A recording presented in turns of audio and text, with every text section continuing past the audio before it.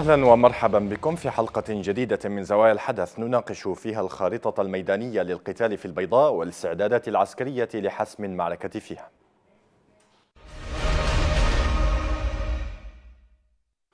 منذ ما يزيد عن عام سيطرت ميليشيا الحوثي بالتحالف مع القوات الموالية للمخلوع على محافظة البيضاء.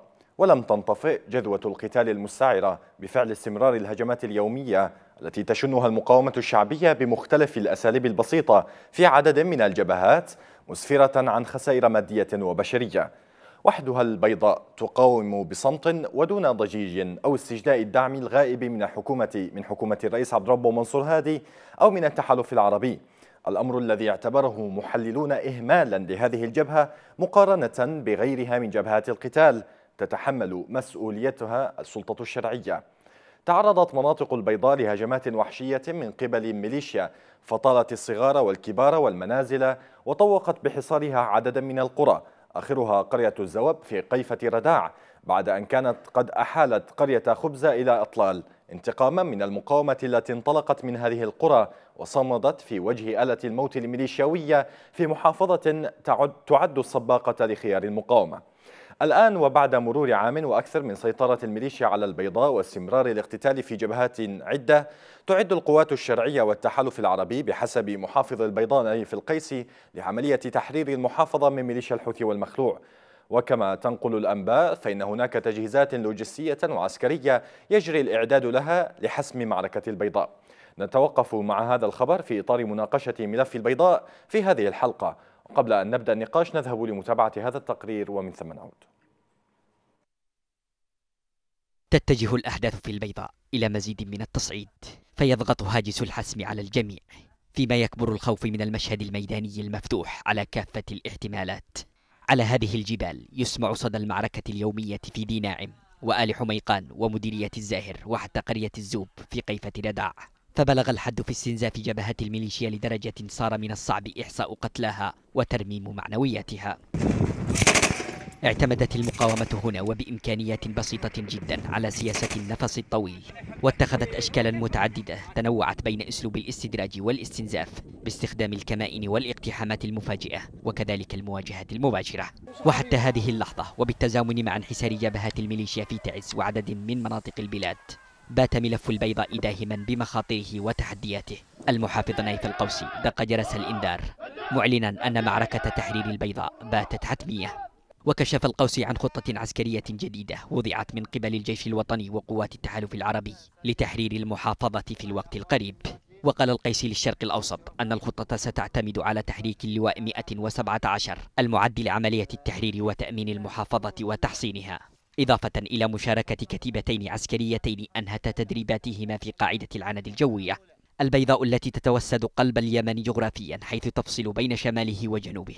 تمتلك بوابات على تسع محافظات عدة وحدودا مع خمسة أقاليم من إجمالي الأقاليم المقترحة في التقسيم الإداري الجديد طبقا لمخرجات الحوار الوطني.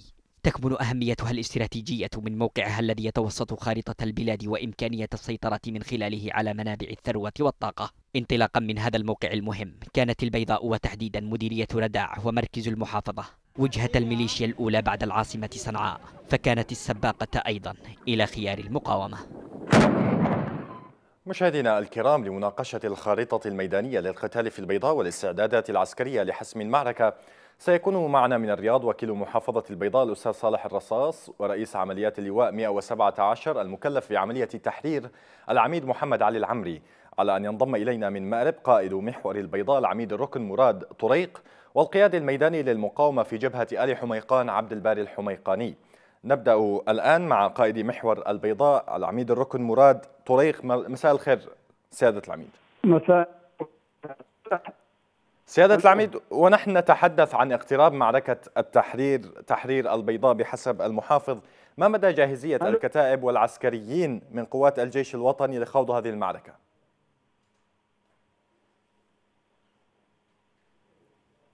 سيادة العميد.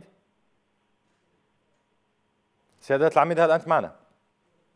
إذا يبدو أن سيادة العميد آه، فقد الاتصال معنا. ينضم إلينا الآن من جبهة آل حميقان آه، قائد الجبهة هناك أو أحد قيادات المقاومة آه، عبد عبد الباري الحميقاني. مساء الخير أستاذ عبد الباري. مساء النور أخي. أستاذ عبد الباري إذا ما تحدثنا عن أننا نتابع كل يوم أخبار المعارك في مختلف جبهات البيضاء لكن لا نعلم مدى التنسيق والانسجام داخل أطياف المقاومة في مختلف الجبهات. حدثنا عن ذلك. نعم أخي. الحمد لله رب العالمين وبه نستعين على أمور الدنيا والدين ولا عدوان إلا على الظالمين. آه، أخي الكريم البيضاء ستبقى بيضاء بقوة رجالها وعزيمة رجالها. ثانيا حياتي وشكري لقناة بلقيس. وكل القنوات الوطنية التي آه، تهتم بشؤون الوطن والواقفة بجانب الشرعية وأبناء الشعب اليمني. والشكر والتقدير لكم أخي والمدير قناة بلقيس الأخ فارس العميري وكذلك لك أخي وجيه والمخرج محمد القاسم. والشكر والتقدير للأخ محافظ محافظة البيضاء الشيخ نايف القيسي على الجهود الذي يبذلها ونسأل الله له التوفيق والنجاح. نعم. وكذلك الشكر. نعم أستاذ عبد الباري. هل تحدثنا أكثر عن آه، يعني التنسيق في الجبهات بينكم وبين بقية قادة المقاومة وأطياف المقاومة في جبهات البيضاء؟ نعم أخي هناك تنسيق وتم التنسيق بين قيادة المقاومة في آه، محافظة البيضاء وإن شاء الله بإذن الله نحن عازمين على تحرير ما تبقى بأيدي الميليشيات الحوثية آه، وتحرير محافظة كاملة. نعم أخي. ونحن في صدد ذلك آه، نسعى ونعمل من أخونا محافظ المحافظة والأخ قايد اللواء 117 آه الذي تعول عليهم المحافظة كثيرا بأن يأتوها ببشائر الدعم وبشائر الخير الذي تسرد أخوانهم المقاتلون في جبهات آه البيضاء ونؤكد بأننا عازمون. آه ومن كثر الضربات الموجعة التي تلقتها الميليشيات الحوثي الحوثية من قبل المداومة محافظه البيضاء لجأت إلى القصف العشوائي بالكاتوشا وكذلك زرعه الألغام المتفجرة في الطرقات والوديان وذلك بسبب ما تلقوه من ضربات موجعة وخسائر فاضحه في المال والعتاد والأرواح. ونؤكد ونقولها من خلال قناتكم الموقره لأننا صامدين وثابتين ثبوت الجبال أمام تلك الميليشيات ولن نتزعزع أو نتراجع. والشعار الذي يردده المقاتلون في كل الجبهات هو اما أن ننتصر اما أن نموت. اذا أرجو أن تتفضل بالبقاء معنا أستاذ عبد الباري. ينضم إلينا الآن قائد محور البيضاء أو يعود إلينا بالأصح قائد محور البيضاء العميد الركن مراد طريق. مساء الخير مجددا سيادة العميد. يعني كنا نتحدث عن أن هناك اقتراب لمعركة البيضاء. هل تحدثنا عن جاهزية العسكرية ويعني جاهزية المعدات العسكرية؟ وكذلك بالنسبة للعسكريين هناك هل هناك جاهزية لهم لخوض هذه المعركة؟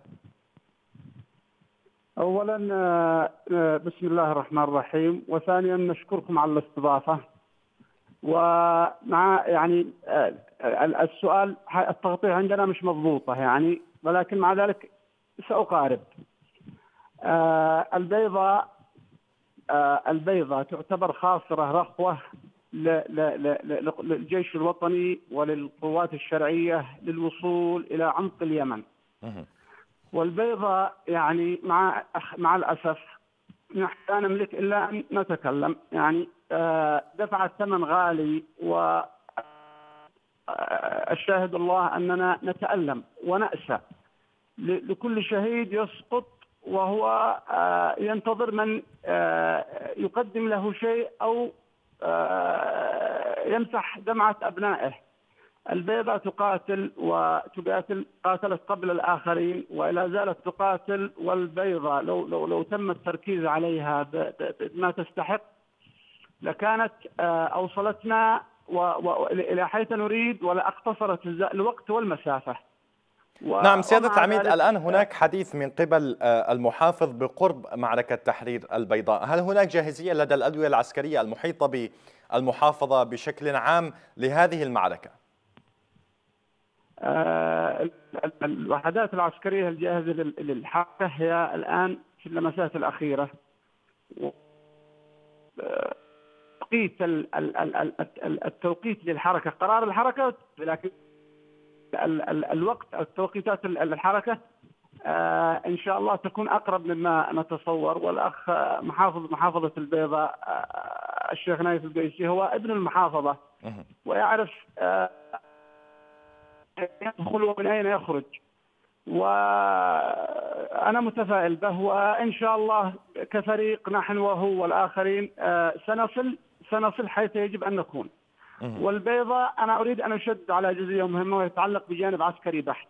تفضل. البيضاء لو أعطيت حقها لو أعطيت حقها منذ وقت مبكر لكنا في مكان لا يتوقعه ولكنا آه، لا يتوقعه المقابل. ولو كنا قد أختصرنا المسافة والوقت ولا يعني الأمور كثيرة. بالنتيجة الآن بحمد الله الأمور تمشي في في في ضمن سياق وخطط وتحضيرات. آه، عندنا وحدات جاهزه عندنا ألوية. نعم. استفتاء وعندنا حاضنة شعبية ومقاومة تنتظر متى آه، نحقق التماس بهم وإن شاء الله سنحقق التماس قريبا. طيب تفضل بالبقاء معي آه، سيادة العميد. أعود إلى القيادة في مقاومة الحميقان الأستاذ عبد الباري الحميقاني. أستاذ عبد الباري إذا ما تحدثنا عن مدى التنسيق آه، يعني بين جبهات مقاومة البيضاء بشكل عام هل هي جبهة واحدة تحقق تنسيق عالي فيما بينها أم أن التواصل فيما بين قادة المقاومة وأفرادها ضعيف؟ نعم أخي. آه، الجبهات في تفضل أستاذ عبد الباري عملها تفضل أستاذ عبد الباري يبدو أن هناك مشاكل من الاتصال في البيضاء. سنحاول آه، يعني معاودة الاتصال مع ضيفنا. أعود إلى آه، قائد محور البيضاء العميد الركن مراد آه، طريق. سيادة العميد إذا ما تحدثنا على أن مأرب تحررت الجوف تحرر أغلبها كذلك لماذا تأخرت يعني توجهات الحكومة لتحرير البيضاء؟ شوف أنا أريد أقول لك شيء. يعني هو يرى الحاضر ما لا يرى الغائب آه، حجم المناطق التي كان مسيطر عليها من قبل الانقلابيين كبير جدا. وكانت هنالك أولويات أولويات ملحة. يعني القرب من العاصمة نتيجة وجود منابع الطاقة وجود الكهرباء إلى آخره. نعم. اذا آه، يبدو أن الاتصال هناك تقطعات في الصوت من الاتصال من المأرب في قائد محور البيضاء العميد الركن مراد آه، طريق. تحدث العميد الركن مشاهدينا الكرام حول أن آه، آه، هناك أمل بأن تكون معركة تحرير المحافظة قريبة بعد تصريحات المحافظ نايف القيسي الذي هو من أبناء محافظة البيضاء.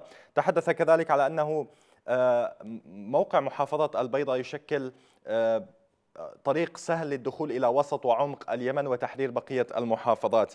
تحدث كذلك على أن توقيت معركة التحرير سيكون أقرب مما يتصوره أو يتصوره العامة. تحدث أيضا عن أن جزئية لو كانت البيضاء أعطيت حقها بوقت مبكر لكان الوضع أفضل مما هو عليه بكثير في اليمن بشكل عام نظرا لحساسية موقع البيضاء وأهميتها الجغرافية. تحدث أيضا عن وجود آه، يعني آه، وجود حاضنة شعبية للمقاومة الشعبية وتوجه من قبل أفراد الشعب هناك لمواجهة الحوثيين ومقاتلتهم ب شتى الطرق والوسائل. انضم إلينا كذلك قبل قليل عبد الباري الحميقاني أحد قادة المقاومة من آل من آل حميقان لكن آه، كان التواصل معه ضعيفا بسبب آه، سوء التواصل في أو سوء الاتصالات من المحافظة. ينضم إلينا الآن المحلل السياسي الأستاذ ناصر الشليلي. مرحبا بك آه، أستاذ ناصر. مرحبا بك وبمشاهديك الكرام أخي الكريم. حياكم الله أستاذ ناصر. إذا ما تحدثنا عن محافظة البيضاء لماذا هذا التأخر في عملية حسم المعركة هناك؟ أخي الحبيب أنت كما تعلم أن الوضع في البيضاء الميداني آه، بشكل عام آه، كل يوم يتطور بشكل أفضل من من من السابق. آه، وهناك عمليات نوعية تقوم بها المقاومة. إنما التأخر هو ناتج عن عدم تحرك الجيش النظامي إلى للمشاركة في تحرير المحافظة. إلى ما إلى ما تعزو ذلك هناك لواء 117 في العبر له له ما يقارب عشرة أشهر في في يتلقى التدريبات العسكرية والقتالية. عدد أفراد اللواء يتجاوز 2500 جندي. لكن هذا اللواء منذ ذلك الحين وحتى اليوم لا زال كلواء تدريبي فقط لم يتم تجهيزه من الناحية العسكرية وإمداده بالمعدات والآليات العسكرية اللازمة للتحرك. أنا أعزو هذا أقول هذا بكل صراحة ان أن محافظة البيضاء لا ينظر إليها النظرة التي يجب أن ينظر إليها من الناحية الاستراتيجية. ويبدو أن لدى التحالف وقيادة الدولة خطط معينة تمضي في في في طريق معين. ربما أن محافظة البيضاء لا زالت ليست على رأس قائمة هذه الخطط. لكن كما بلغني أخيرا أن خطط التحرير للمحافظة صارت شبه جاهزة. وبانتظار التحرك لتنفيذ هذه الخطة خطة تم إعدادها من قبل الخبراء العسكريين اليمنيين وبمشاركة الجانب المختص من قوات التحالف. هذه الخطة تم العمل عليها لفترة من الزمن. هي الآن كما بلغني من أحد المصادر المطلعة أنها شبه جاهزة. ونتمنى نعم. ان يتم تنفيذ هذه الخطة أو التحرك نحو تنفيذ هذه الخطة. طيب سنتحدث أكثر حول هذه الخطة لكن قبل ذلك دعني أعود إلى قائد محور البيضاء العميد الركن مراد طريق. سيادة العميد يعني الرئيس وجه بتشكيل ثلاثة أدوية عسكرية للبيضاء ما الذي تحقق إلى الآن بخصوص ذلك؟ شوف يا أخي أولا نعتذر على الانقطاعات المتكررة نعم. يعني وهو حال البلد ماذا نعمل؟ نعم وبالنسبة للتوجيه تشكيل ثلاث وحدات عسكرية يعني بقوام ثلاثة ألوية أنا آه فيه شيء مهم أولا لم يتم البت على الأرض بخصوص هذا الشيء يعني بصورة فعلية وجادة وأقولها بالفم المليان والشيء الآخر أن أن أن أن, أن الثلاثة الالويه تحتاج إلى قاعدة مادية وتدريب وإعداد وتوفير إمكانيات لتكون جاهزة للعمل يعني بحاجة إلى وقت طويل. نحن الآن ما لدينا نستطيع أن نقدم به شيء و أحنا الخطه يعني الخطه التي أحنا رفعنا في, في, في الأيام الماضية الاخ رئيس الأركان ويعني برؤيتنا وما نريده. ورهاننا في البيضاء ليس بالحجم العسكري القوى موجودة. رهاننا على واقع الميل الشعبي وعلى فهمنا لطبيعة الأرض. أيوه فهذه ستكون حجر الزاوية طيب في هناك أيضا لواء اللواء 117 المتواجد في العبر كما عرج نعم عليه نعم قبل قليل نعم الأستاذ نعم. ناصر الشليلي. هناك 2500 جندي يعني ما الذي ينتظرونه إلى دخول المعركة ومسانده المقاومة الشعبية هناك؟ ألو. نعم نسمع ألو. سيادة العميد ألو آه أنت تسألني عن اللواء 117 اللواء 117 آه جاهز ك ك بشري و و و وكتدريب واندفاع ولكن آه إلى الآن إلى الآن. وأنا يعني آه في قصور في مسألة توفير آه مستلزمات ومتطلبات العمل على الأرض. وإن شاء الله ان الأيام المقبلة ستجد فيها عمل حثيث من قبل قيادة القوات المسلحة ومن قبل أخواننا العرب. و أنا عندي شعور إن فيه جدية في هذا الأيام، فيه جدية لتحريك البيضاء، وأنا أريد أن انوه إلى شيء. أهمية البيضاء، أهمية البيضاء تتمثل في موقعها، البيضاء تعتبر خنجر مفصلي للوصول إلى ما بعد البيضاء. والبيضاء الشيء الذي أيضا يشجعنا جدا بنحس في أهلها أن فيهم شيء من الاندفاع وشيء من التطلع، يريدوا فقط أن أن نكون موجودين بجوارهم ورهاني على الجزئية رهان كبير وأسأل الله أن, أن, أن, أن لا يخيب وإن شاء الله لن يخيب. بإذن الله. اذا أشكرك شكرا جزيلا العميد الركن مراد طريق قائد محور البيضاء. كنت معنا عبر الهاتف. أعود إلى الاستاذ ناصر الشليلي.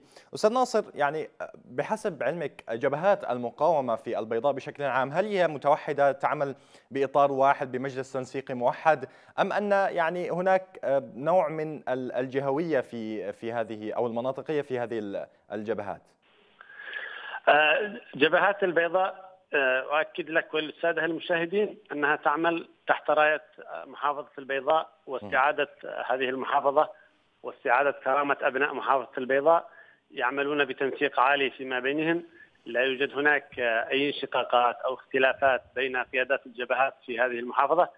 صحيح أن هناك جبهات متعددة هي ليست جبهة واحدة في المحافظة. هناك جبهات متعددة فهناك جبهة في قيفة وجبهة في ذي ناعم وجبهة في طياب وهناك جبهة أخرى في الزاهر الحميقان. والآن هناك جبهات جديدة في الصومعة والطفة والملاجم هذه الجبهات كلها آه تعمل في إطار معين وهو تحرير محافظة البيضاء. آه ما طرحه الأخ العميد مراد طريق أشياء مهمة جدا نشكره نشكره عليها كونه قائد المحور.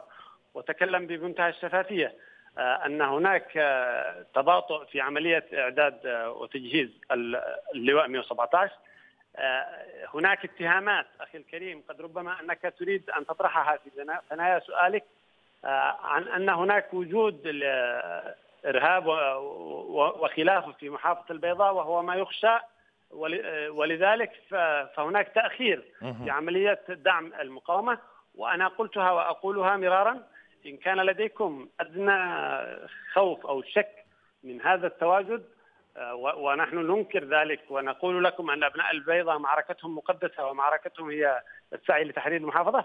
فما الذي يمنع من أن يتم دعم اللواء 117 كواجهة رسمية كجيش وطني ليساهم في عملية التحرير وتندرج تحت إمرته وقيادته بقية التفصيلات التشكيلات الأخرى في في جبهات المقاومة. طيب نعم أستاذ ناصر. أرجو أن تتفضل بالبقاء معي. ينضم إلينا الآن رئيس عمليات اللواء 117 المكلف بتحرير البيضاء العميد محمد المعمري. مساء الخير سيادة العميد. آه عفوا محمد العمري. أهلا وسهلا أستاذ محمد العمري.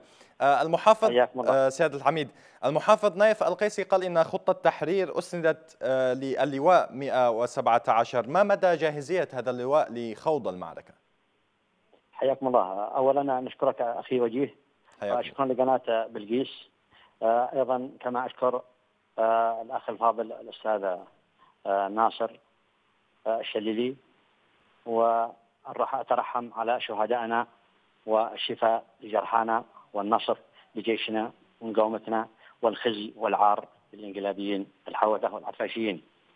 آه مدى جاهزية آه اللواء 117 آه اللواء 117 جاهز إن شاء الله لخوض معركته ضد الانقلابيين فنحن على هيئة الاستعداد حتى تأمرنا قيادتنا السياسية ممثلة رئيس الجمهورية القائد الأعلى للقوات المسلحة ونائب القائد الأعلى للقوات المسلحة والقيادة العسكرية. نحن جاهزون. نحن من ناحية التدريب عندنا أسلحة بسيطة جدا ندرب أفرادنا والصف والجنود ونحن على هيئة الاستعداد طيب حتى سيادة العميد هل لديكم ما يكفي من العتاد والإسناد اللوجستي لحسم معركة البيضاء؟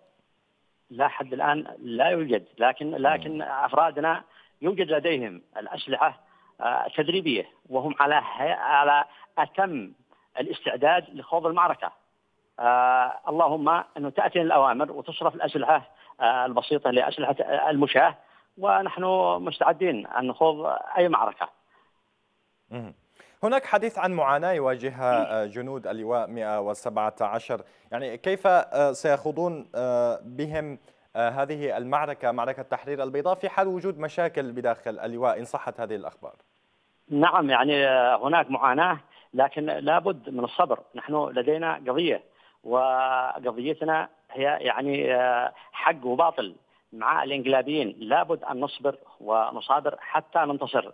أتت أوامر رئيس الجمهورية يعني النائب القائد الأعلى للقوات المسلحة بصرف الرواتب وجميع الأسلحة والآليات وإن شاء الله سوف يتنفذ الأمر قريبا. ونحن على هيئة الاستعداد ومعنويات لوانا قوية جدا ومرتفعة جدا. أرجو أن تتفضل بالبقاء معنا سيادة العميد. أعود إلى الأستاذ ناصر الشليلي. بحكم وجودك بالقرب من آه، آه، قيادة آه، القوات المسلحة متمثلة برئاس رئيس الجمهورية وكذلك نائب رئيس القوات المسلحة نائب قائد القوات المسلحة في الرياض.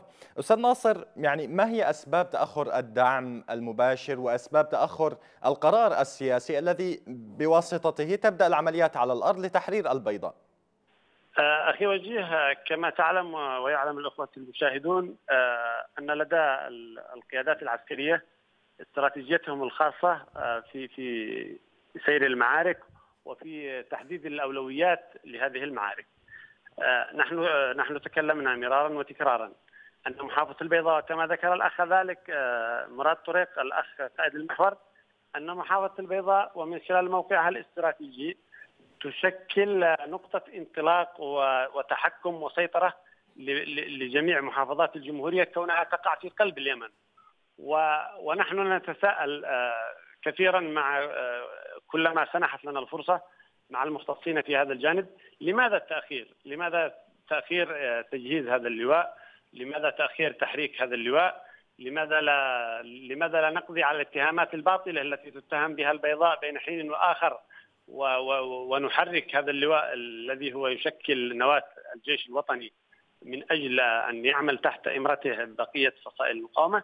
آه، التأخير آه، لدى القيادة التحالف ولدى القيادة العسكرية في في في اليمن آه، رؤيتهم في ذلك.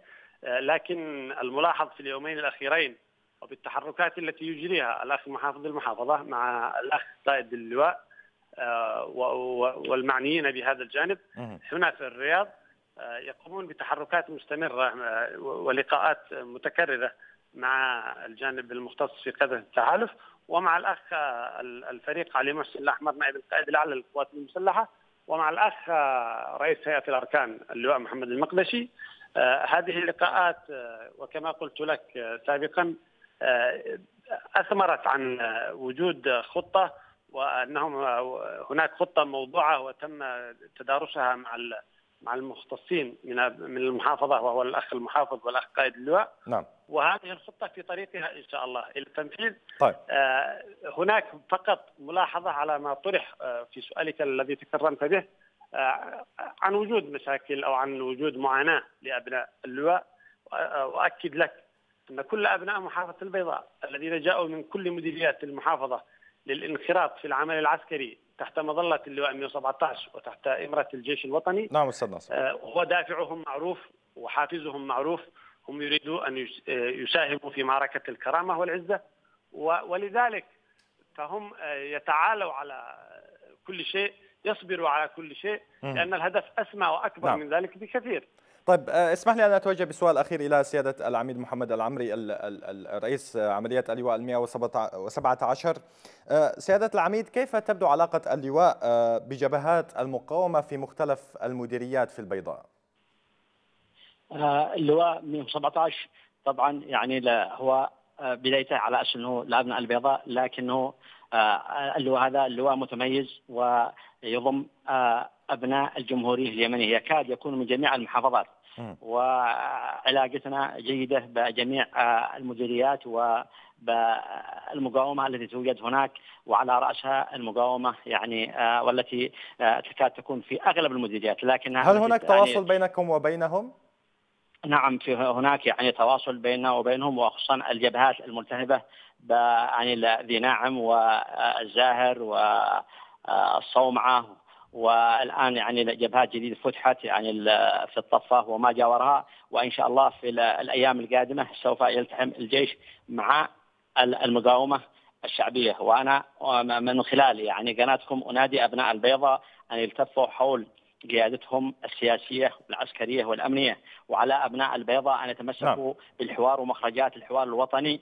وأن وأن أدعو المحافظ أن يتجه مع محافظين إقليم سبا لانشاء يعني آه، إدارة آه، بحيث إنها تحل تحل جميع مشاكل أبناء إقليم سبا مأرب بحيث إنهم يبدأوا يحلوا مشاكل المواطنين، أيضا نعم. أدعو إلى حل مشا يعني بعض مشاكل مشايخ أبناء البيضاء لكونهم الركيزة الرئيسية للانتصار. هذا مهم جدا جدا. كون أبناء يعني مشايخ أبناء البيضاء مهمشين من قبل ولا نريد أن نهمشهم بعد ثورة 2011 آه، في 11 فبراير. أشكرك شكرا جزيلا رئيس عمليات اللواء 117 العميد محمد العمري كنت معنا عبر الهاتف. أعود إلى أستاذ ناصر الشليلي بسؤال أخير. أستاذ ناصر يعني هناك الكثير من من يقول أن تأجيل معركة البيضاء يرجع إلى تقارير لوجستية بوجود آه، جماعات متطرفة في المحافظة. ما حقيقة هذه المعلومة وما مدى يعني موضوعية هذا الطرح في هذا الوقت؟ في ثنايا حوارنا معك أخي وجيه يد...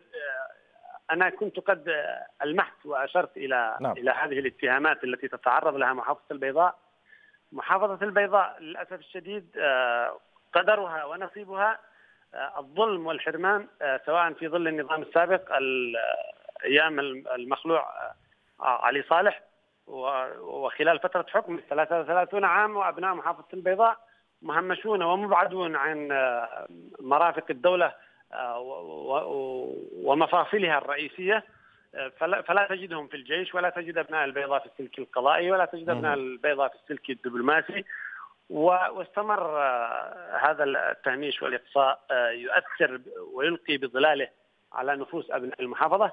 اليوم آه، قدر أبناء البيضاء أيضا أن لا يسلموا من توجيه الاتهامات لهم نعم. وهم يدافعون عن الشرف وعن العرض وعن الكرامة وعن الأرض وعن المواطنة المتساوية وعن العدالة في توزيع السلطة السلطة والثروة لا يسلمون من تلقي مثل هذه الاتهامات بأن هناك إرهاب في محافظة البيضاء. أشكرك. و و و وفي الأساس عندما جاء الحوثيون وقوات المخلوع صالح إلى البيضاء وإلى غيرها من المحافظات وجميعنا يعلم ذلك إنما جاءوا بدعوى وبتهمة آه، أن هناك إرهاب نعم، وأنهم جاءوا لمحاربة الإرهاب.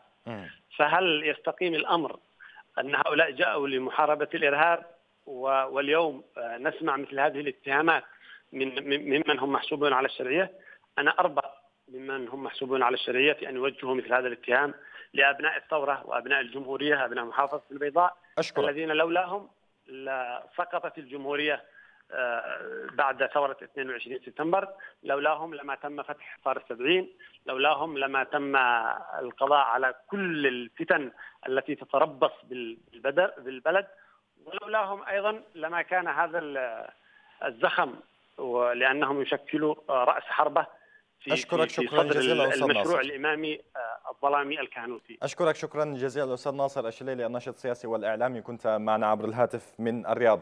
كما والشكر موصول لكم مشاهدينا الكرام على حسن المتابعة والإنصات في هذه الحلقة.